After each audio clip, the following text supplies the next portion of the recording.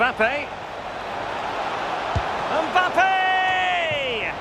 In it goes! At the second time of asking, and the keeper feels hung out to dry.